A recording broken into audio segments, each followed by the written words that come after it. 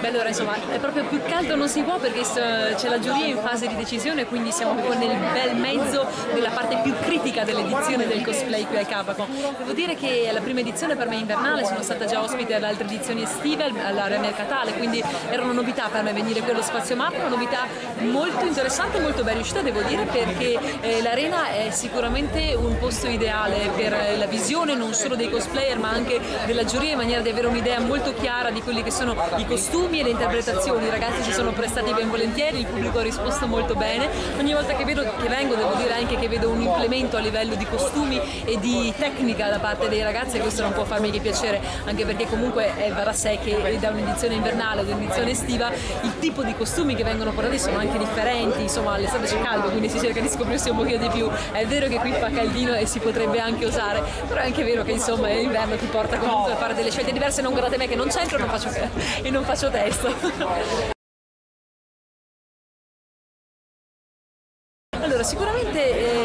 ragazzi,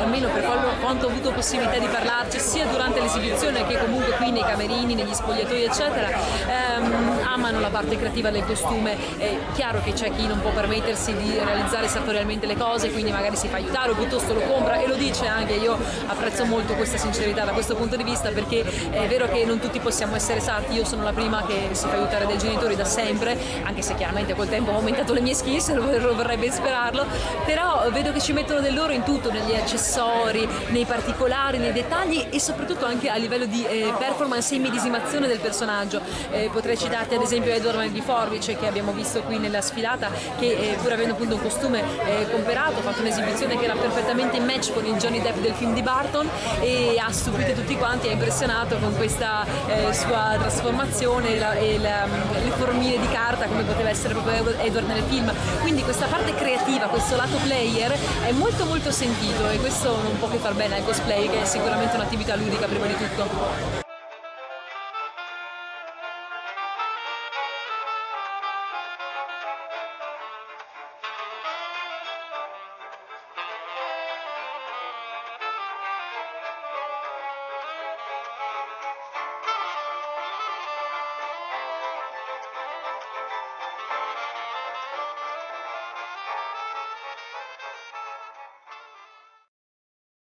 A me piace pensare che nasce da fin da piccola, ho una foto di quando avevo due anni vestita da Heidi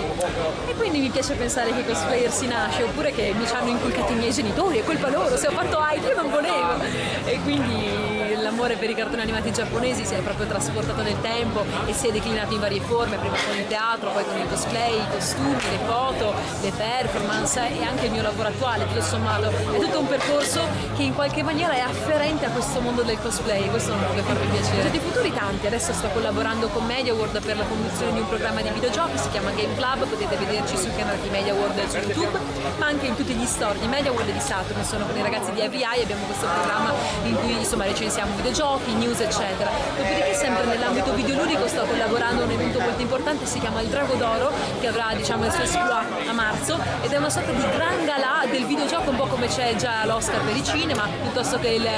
il gran galà della pubblicità eccetera. Pensate che all'estero eh, questo galà eh, con nomi differenti è già vissuto, è già sentito molto molto forte, al punto che a Londra c'era le premiazioni niente meno che Sean Connery, certo io non sono Sean Connery, non lo sarò mai, però ho avuto la possibilità e il piacere di collaborare collaborare di presentare questa serata a marzo, questa serata di gala con tutti i grandi nomi del videogioco internazionale e questo insomma è sicuramente un evento di punta a cui vi invito ad assistere e a tenere d'occhio.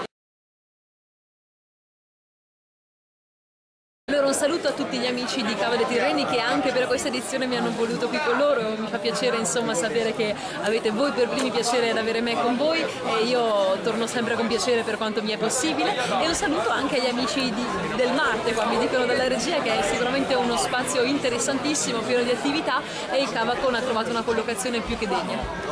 Grazie.